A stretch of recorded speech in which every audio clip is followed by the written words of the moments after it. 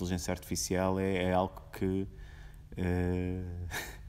eu, eu, já, já o defendi há alguns tempos, não tanto como inteligência artificial, mas como é que a relação de dados pode ser importante para a criatividade.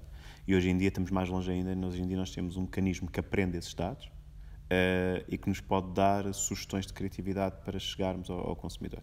Na prática, ele não faz criatividade, na prática, uh, ele sugere, ou melhor, dá-nos estruturas que nós podemos usar para criativamente chegar às pessoas, oferecendo-lhe aquilo que elas realmente querem. Agora, estamos a falar de dois endpoints, não é? Nós temos sempre aquele princípio máximo do, do early adopter e, do, e daquela pessoa que compra o iPhone 4 agora porque já ninguém mais usa, e, mas para ela acha que é uma evolução.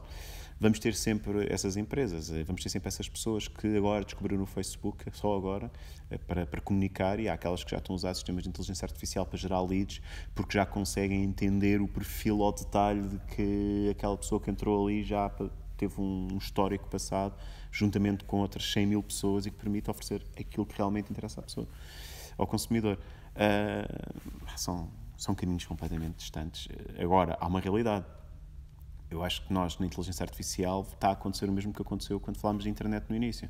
A internet no início era um bicho de sete cabeças e hoje em dia é, é, é acessível, é totalmente acessível.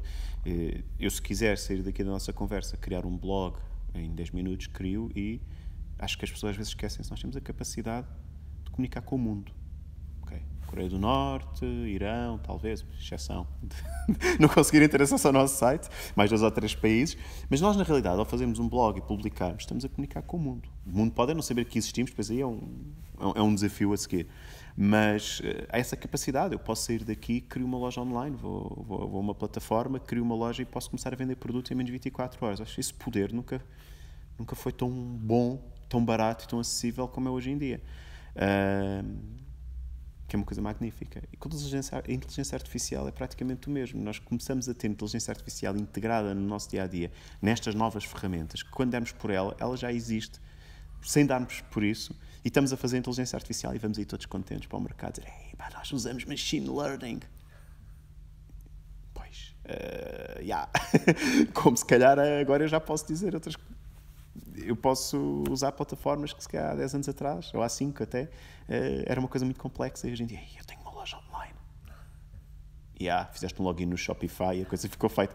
Mas é essa, eu, eu acho que essa, essa acessibilidade é gira. Uh, mas vamos ter sempre pessoas muito à frente e pessoas uh, massificadas e aquelas que vêm no fim. Faz parte.